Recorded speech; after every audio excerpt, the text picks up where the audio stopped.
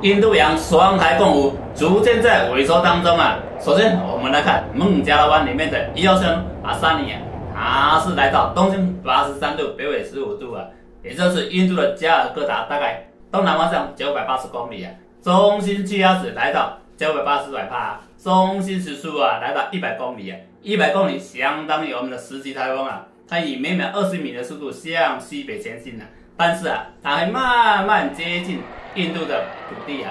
它现在的暴风圈高达三百二十公里，已经接触到印度了，而且逐渐开始转向。为什么转向呢？延长了东北方向一个高压，还有从西南方向浮上来一个气压，导致它慢慢转向东北方向，同时威力逐渐在减低当中啊。未来的趋势啊。它会来到每个小时八十五到九十五公里的速度啊，大概是我们的九级台风啊，每秒可以达到十二米啊，啊最大速度只有十五米，向东北方向前进的。但是啊，它会慢慢萎缩，因为它在孟加拉湾里面还有遇到土地，就慢慢消失了。到底会不会这样子呢？我们持续锁定阿萨尼亚。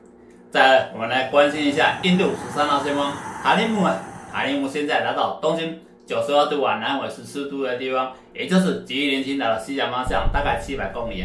中心气压值来到九百九十百帕，中心时速一百一十公里，也是十级左右啊。暴风半径的两百六十公里啊，它是以每秒十五米的速度向东南移动啊。